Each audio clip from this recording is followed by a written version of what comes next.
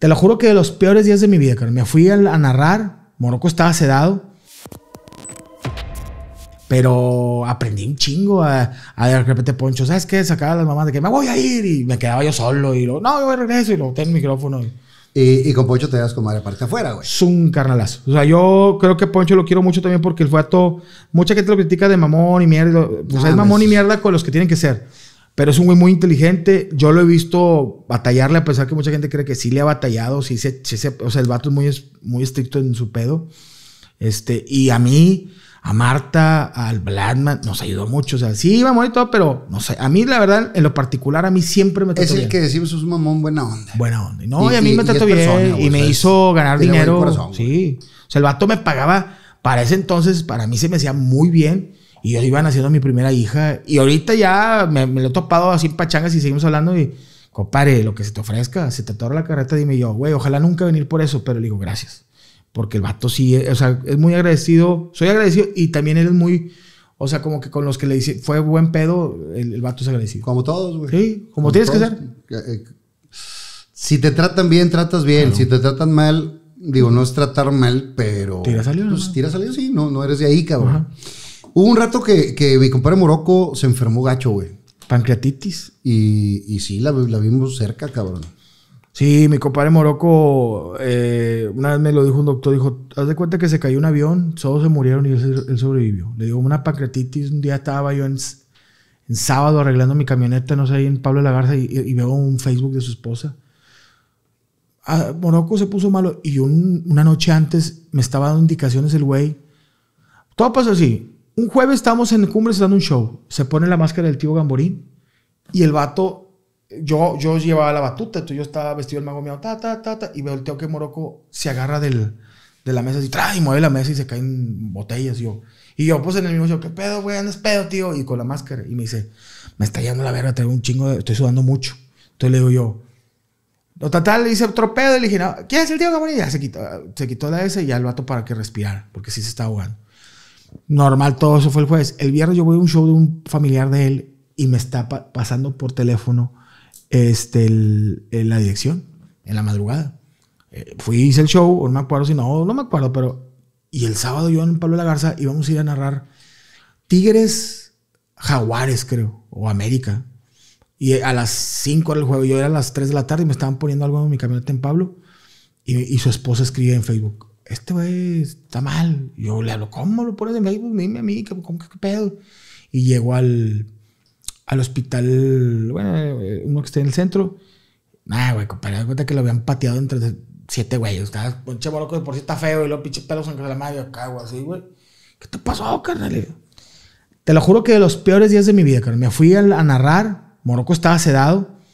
Le dio la porque se le subieron los triglicéridos a mí, el azúcar, se le disparó todo. Impresionante. No, o sea, era de morir, No, no cayó en un coma diabético y, y se nos fue porque nos fue, es grande, güey. grande. No, y está cabrón, es un pinche guerrerote, güey.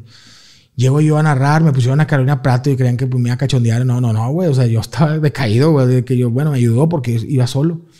Este, te lo juro que apagué el celular porque mi, su esposa me escribía y es que dicen los profesores que están mal. dije, güey, ¿sabes que se siente la verga? Y decía, no mames, se va a acabar el segundo tiempo de Tigres, güey. Voy a prender el celular y me va a decir que este güey se fue. O sea, yo decía, este güey se va a morir, güey. Y yo, no mames, güey, no, no, no quiero prender el celular. Lo prendí así, güey, y que lo, donde lo, me escribió su esposa, me dice, porque su esposa, lo apagué porque me estaba escribiendo. Y a mi comadre Betty la entiendo y le mando un saludo, la quiero mucho. Estaba desesperada, estaba Sí, ella sola. Bri- Brisa estaba, eh, claro, le tocó todo el. Todo el- sola, sola. Y ella, ¿qué Y hago? tú Y- jalando tampoco podías hacer no, nada. yo tenía acá y narrando y llorando. Y lloré bien cabrón dos minutos antes de entrar y luego me tranquilicé y ahí con Carolina Prato me ayudó.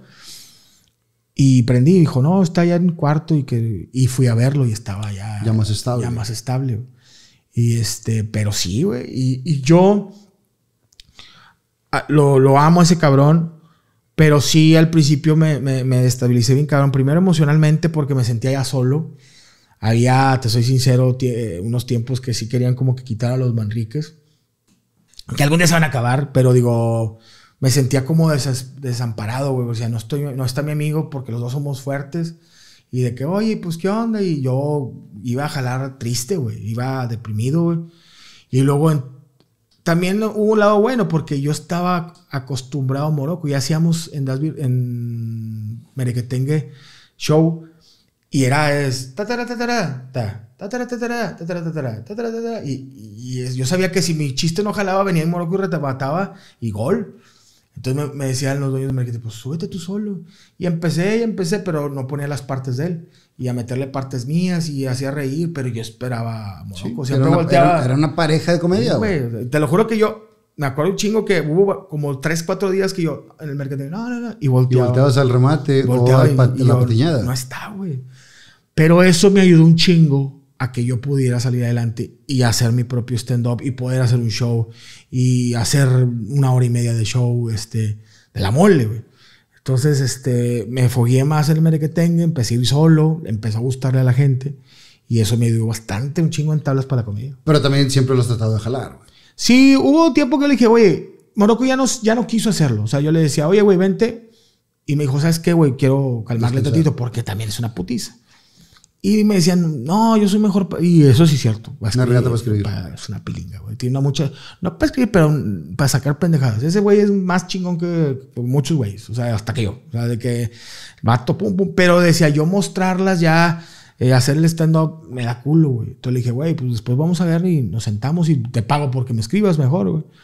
Este. Pero sí lo intenté jalar. Siempre he querido este, que esté bien, está bien, está en RG, está en Dinarina, está en, televisión, este, pero siempre he querido que él esté bien, porque es un güey que, vaya, que mi compadre Morocco se le ha pelado. Hay muchas cosas. Y es muy chingón. Y es mucho, es, una, es muy chingón y finalmente muchos eh, llevamos el proceso donde son la mole y Morocco, O sea, que, es parte de, aunque cada quien tenga su, vida aparte, pero sí los identificamos como una pareja de mucho tiempo. Claro.